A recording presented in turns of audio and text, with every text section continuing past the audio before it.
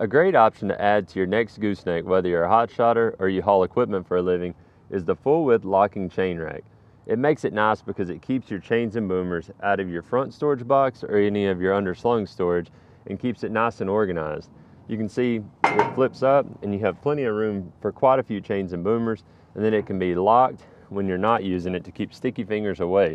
It comes with the two locking pins that can be easily replaced with a padlock.